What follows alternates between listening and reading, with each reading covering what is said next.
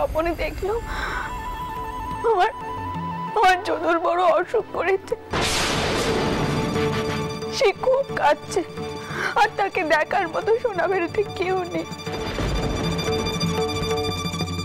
তাই আমি ঠিক করেছি। আমি এখনই যাব সোনা বেরোতে, তাকে নিয়ে আসতে। মতন তুমি এখনই নৌকো তৈরি করো। আমি ঠিক করেছি, এখনই আমি যাত্রা করব ওইদিকে। মা মা দেখো তুমি শান্ত হও। দেখো, আমি বুঝতে পারছি, কিন্তু দেখো তুমি যেটা চাইছো সবসময় তো সেটা হতে পারেনি, তাই না? শুধু তো ওই বংশের ব্যাটা। আর তাছাড়া চৌধুরী মশাই তো ওখানে আছে। উনি তো যদুর বাপ, উনি নিশ্চয়ই যদুকে দেখবেন কিছু হলে। তাছাড়া যদুর ঠাকমা, ঠাকুরদা সবাই আছে ওখানে। পদ্ম তুমি বুঝতে পারছ না পদ্ম আমার যদুর যদি আজ কিছু না হতো, তাহলে রঘুবীর আমাকে এমন একখানা স্বপ্ন দেখাতেন আমার মেয়েটাকে হারিয়েছি। এখন যদি না।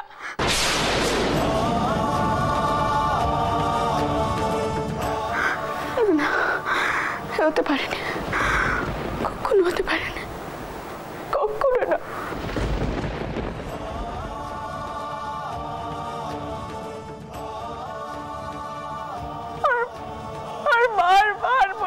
তোমাদের বাবা মশাই যদি এখন বেঁচে থাকতেন, তাহলে কুমারীকে জ্বর গায়ে কিছুতেই ওখানে যেতে দিতেন। উনি পত্তর নিকতেন কেন আমরা আমার মেয়েকে ছাড়লুম না? আমার এমনটাই করা উচিত ছিল কিন্তু না, আমি আর কোনো ঝুঁকি নিতে পারব না। যদুকে আমাকে নিয়ে আসতেই হবে? মা, আপনার মনের অবস্থা আমরা সবাই বুঝতে পারছি মা। যা পরিস্থিতি এমনটা হওয়া অস্বাভাবিক নয়। কিন্তু নিজের শরীরের কথাটাও তো আপনাকে ভাবতে হবে মা। এতখানি পথ এই শরীর আপনি ধকল নিতে পারবেন না। আটামশাই ঠিক কথাই বলছেন মা। আপনার পক্ষে এখন সোনা বেড়ে যাওয়া ঠিক হবে না। আমার শরীর নিয়ে কাউকে কিচ্ছু ভাবতে হবে না। যদুকে আমাকে নিয়ে আসতেই হবে। আর আমি ছাড়া তাকে কে নিয়ে আসবে? মা, দেখো, আমি বুঝতে পারছি যদুর জন্য তোমার মন কানা কাঁদছে, আর সেটাই স্বাভাবিক। কিন্তু তোমাকেও তো এটা বুঝতে হবে, মা। আজ আর হোক যদু চৌধুরী বংশের সন্তান। কালুই মশাইয়ের দাবি ওর ওপর অনেক বেশি। মতুর বাবুর বাবা ভালো মানুষ। তাই ভূপালকে দিনের পর দিন এখানে থাকতে দিয়েছে। কিন্তু তালুই মশাই যে এরকমটা করবেন সেটা তো নাও হতে পারে। আচ্ছা পদ্ম। তুমি কি চাও বলো তো? আমার কুমারীর মতো আমার যদু সেইটা যা তাই তো? মা তুমি সব কি কথা কইছো? আমি কখন এসব বললুম? আমাকে তুমি ভুল বলছো মা। চুপ করো চুপ করো দয়া করে চুপ করো। কথায় কথা বাড়ে। উত্তেজনা মায়ের শরীর আরও খারাপ হবে। তুমি দয়া করে চুপ করো। মা আপনি যেমনটা বলছেন তেমনটাই হবে। কিন্তু আমার একটা কথা আজকে রাতের মতো আপনি একটু বিশ্রাম নিন ভোরের আলো ফুটলে আমরা আমরা অবশ্যই যাব। তুমি তুমি কি বলো মথুর? মথুর আবার কি কইবে? কি কইবে মথুর? আমি যখন ঠিক করেছি আমি যাব তখন আমি যাব। তোমাদের কাউকে যেতে হবে না। আমি ভুজঙ্গ দা শুরু থেকে নিয়ে চলে যাচ্ছি। দাঁড়ান মা। আমরা আমরা মেজিদকে হারিয়েছি। কদিন আগে বাবা মশাইকে হারিয়েছি, আপনি কি চাইছেন? আমরা সবাই অনাথ হয়ে যাই। আপনি যদি আমাকে ব্যাটা মানেন, তাহলে এই ব্যাটার কথা আজ আপনাকে শুনতেই হবে।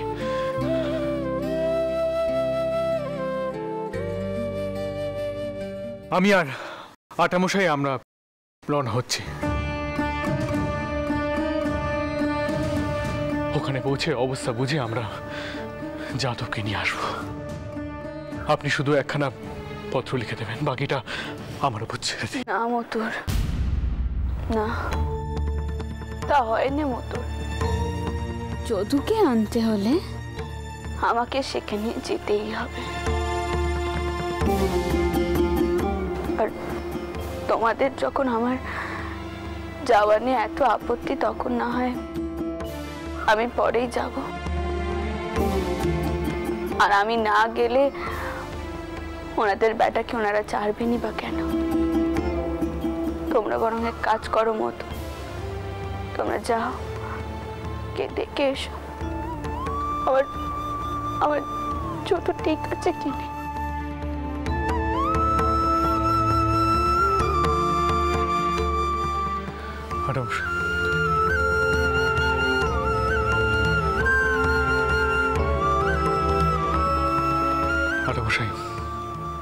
আমাদের এখনই বের হতে হবে। সত্যি কথা বলতে কি, চৌধুরী মশাইয়ের অবস্থা খুব একটা ভালো বুঝলাম না। আমাদের রাতটা ওখানেই কাটানো উচিত ছিল।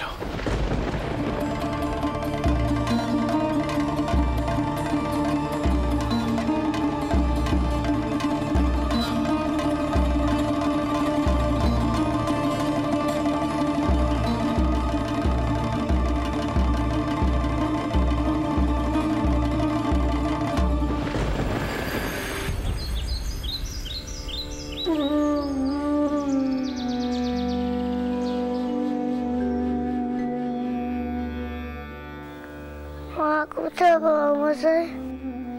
বলুন না, মা কোথায়? মায়ের কি এখনও ঘুম ভাঙেনি? আমার যে শরীরটা ভালো লাগছে না। গাটা গরম। বাবা মশাই, বলুন না মা কোথায়? আপনি কথা কইবেন না।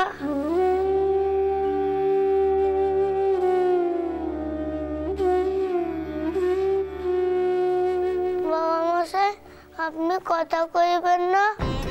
আমার জল খাব। খুব তেষ্টা পেয়েছে। মা কোথায় বাবা মশাই মাকে বলুন না।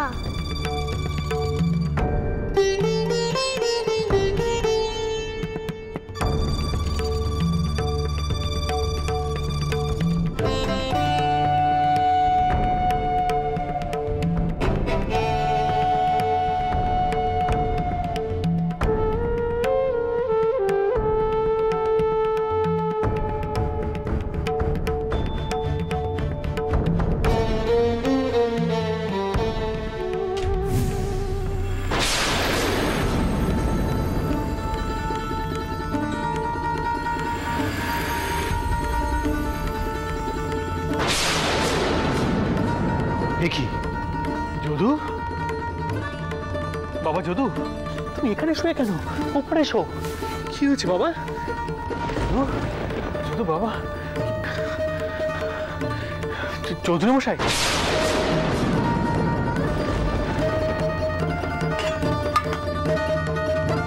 যদু বাবা যদু ওঠো বাবা। যদু। কি তো গা তো পুড়ে যাচ্ছে জ্বরে। তোমরা একটু প্যারিকে বুঝিয়ে বলো।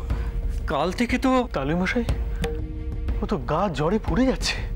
জ্বর এসেছে ও। চৌধুরী মশাই চৌধুরী মশাই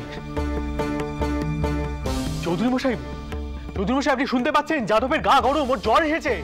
আপনি শুনতে পাচ্ছেন? চৌধুরী মশাই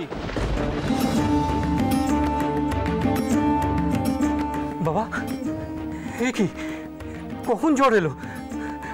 আমি আমি আমার গিন্নিকে বলেছিলাম ওর দিকে একটু নজর রাখতে, কিন্তু তিনিও চতুর্দিকে এত ব্যস্ত। দেখো কাণ্ড। বাবা প্যারি, তোমার কি ছেলেটার দিকেও একটু নজর পড়ছে না? শুধু নিজের জগতে রয়েছে? গিন্নি! গিন্নি! গিন্নি! ও বাবা এ তো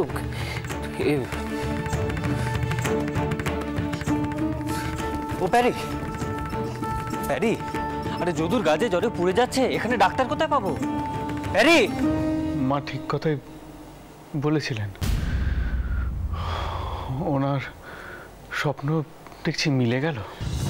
আরে এখানে তো একটা অন্য বিষয় হচ্ছে মধু ওরও তো কোনো কথাই কানে যাচ্ছে না। নিজের ছেলেটার এরকম গা গরম তার তো কোনো তাপ উত্তাপ নেই। ও কি শোকে একবারে পাগল হয়ে গেলাম তো কিছু বুঝতে পারছি না। প্যারি, ও প্যারি। দেখে কোনো লাভ নেই আটামশাই ওনার কানে কোনো কথাই যাচ্ছে না। আর কানে গেলেও ওনার মাথা কাজ করছে না। খুব শিগগিরই ডাক্তার ডাকার ব্যবস্থা করতে হবে।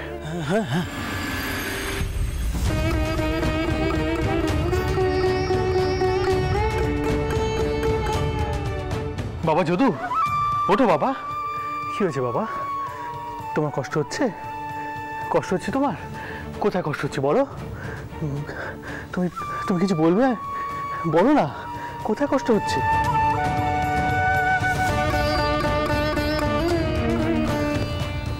আমি বদ্যি ডাকার ব্যবস্থা করছি।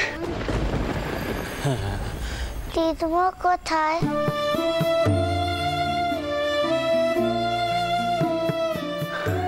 দিদিমা দিদিমা আসছেন।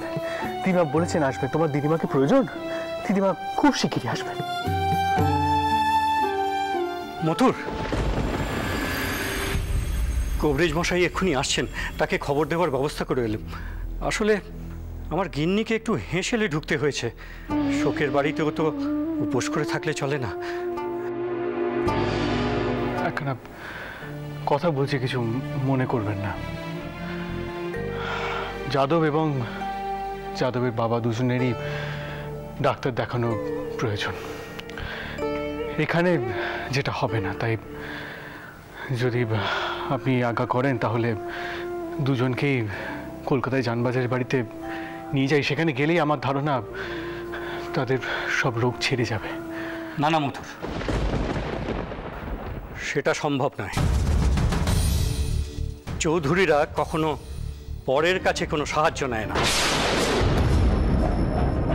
আমার বেটা এবং নাতি, এই বাড়ির ছেলে, ওরা এই বাড়িতেই থাকবে। দরকার হলে আশেপাশের যত কবরেজ বদ্যি আছে, সকলকে ডেকে পাঠানো হবে। তবু ওদের কোথাও যাওয়া চলবে না। তালুই মশাই, কিছু মনে করবেন না, কিন্তু ওদের এই অবস্থায় ফেলে আমরাও কিন্তু চলে যেতে পারি না। আমরা কিছুতেই চলে যেতে পারি না। ওদের এখানে ফেলে রেখে কেন যাব বাবা?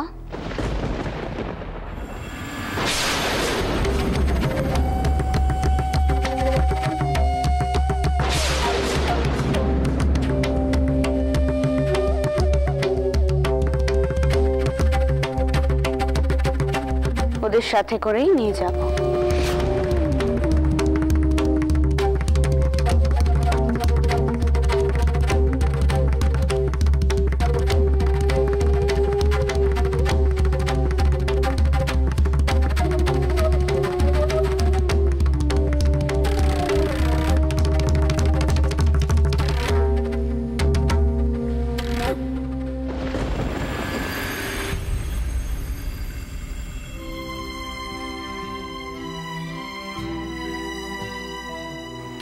এভাবে আপনি একা আসতে গেলেন কেন?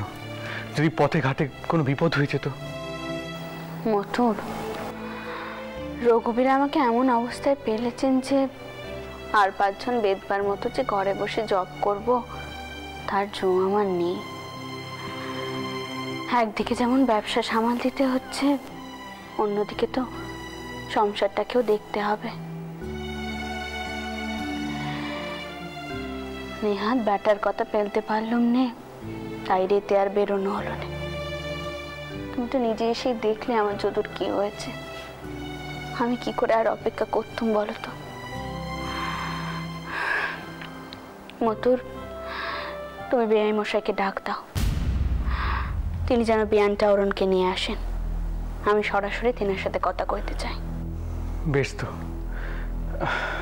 আমি আপনাকে বাধা দেবো না মা, তবে যদুকে এখান থেকে নিয়ে যাওয়া কিন্তু সহজ হবে না। আর মা, চৌধুরী মশাইকে কিন্তু ডাক্তার দেখাতে হবে ওনার চিকিৎসার প্রয়োজন। মতুর, আমি দুজনকেই একসাথে যানবাজারে নিয়ে যাব। এছাড়া কোনো উপায় নেই সব দিক রক্ষে করার। তুমি যাও কি বেআই মশাইকে ডাকো।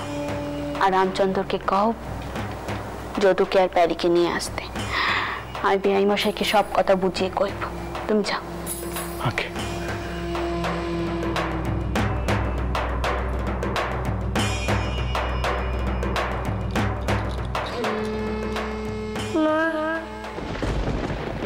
মা সারা দিচ্ছ না কেন? আমার যে খুব গা গরম হয়েছে। ও দিদিমা দিদিমা আমার কাছে এসো না দিদিমা। না না। আমি আমি আমার যদুকে এখানে কিছুতেই রেখে যেতে পারব না। অসম্ভব।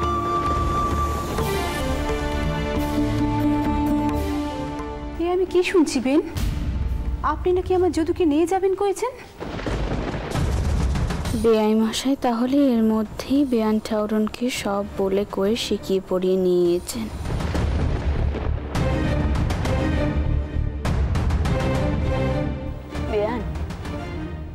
আমি আমার মেয়েটাকে হারিয়েছি। দয়া করে তার একমাত্র ব্যাটাকে কেড়ে নেবেন। আমি আপনাদের কাছে ভিক্ষে চাইছি। কি কইছেন আপনি? যদু আমার বংশধর আমার প্যারির বেটা আমি জানি বেয়ান আমি জানি। আমি চাই ওদেরকে কটা দিনের জন্য কলকাতায় নিয়ে গিয়ে ভালো চিকিৎসা করাতে। কলকাতায় চিকিৎসা ব্যবস্থা ভালো। আর আমার নাতিটা শুদ্ধ মাহারা হয়েছে। সেখানে তার মাসিরা রয়েছে। তারা যদুকে বুলিয়ে রাখতে পারবে। আর প্যারিকেও এখন এখান থেকে দূরে নিয়ে যাওয়াটা প্রয়োজন তাহলে তার পক্ষে শোক বলাটা একটু সহজ হবে। অর্থাৎ আপনি প্যারিকেও ঘর জামাই করতে চাইছেন। এই রামচন্দ্র আর মথুরের মতো তাই না? বেআই মশাই আমি এই কথাখানা তো আপনাকে একবারও কইনি। না না সেটা বলেননি কিন্তু যে প্রস্তাবটা দিচ্ছেন তাতে তো ভবিষ্যতে সেটাই হতে চলেছে। কিছু মনে করবেন না বেয়ান ঠাকুর চৌধুরীরা কোনো কালেই পরমুখাপেক্ষী নয়। তাই প্যারি এবং যদু এখানেই থাকবে। তাছাড়া এখানেও যথেষ্ট ভালো কবরেজ আছে। তিনি তাদের চিকিৎসাও করতে পারবেন। দিদমা?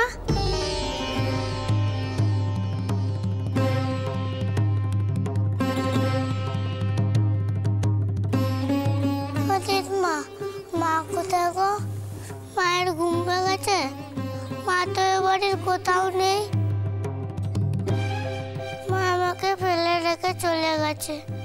আমি তোমার সঙ্গে যাব। মাকে ছাড়া আমি এ বাড়িতে থাকব না।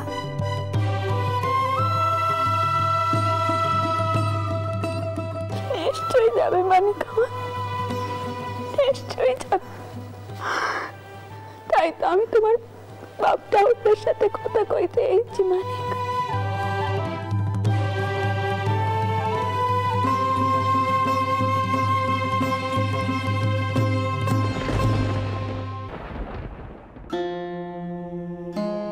বিআই মশাই। দয়া করে আপনারা এত কঠিন হবেন। আমি জানি আপনারা মানি মানুষ, কিন্তু এখন এখন অন্তত মানের কথা না ভেবে নিজের ব্যাটা আর নাতির কথাটা একটিবার ভাবুন।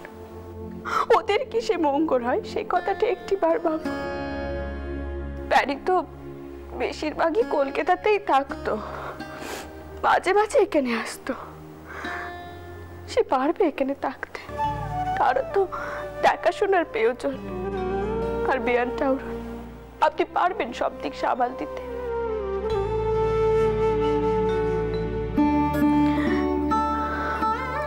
বিআই বসাই কলকাতায় গেলে চিকিৎসা ভালো হবে। আপনি একটু বোঝার চেষ্টা করুন। ও মতন তুমি ওনাদেরকে একটিবার বোঝাও নি এখন প্যারির কি ধরনের চিকিৎসার প্রয়োজন? আগে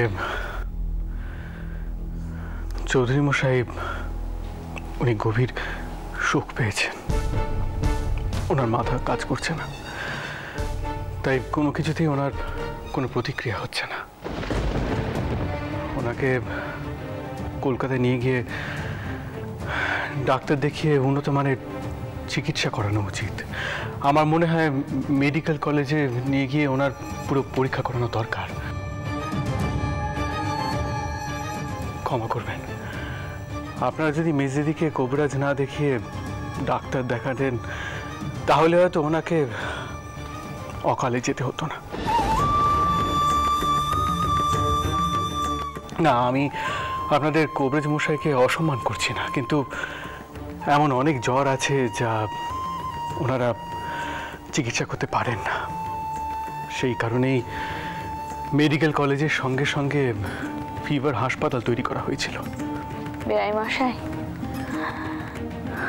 আপনি আর দয়া করে আপত্তি করবেন বেহান আপনি তো একজন মা। তাও না করুন আপনারা যদি আমার অবস্থায় পড়তেন তাহলে কি করতেন?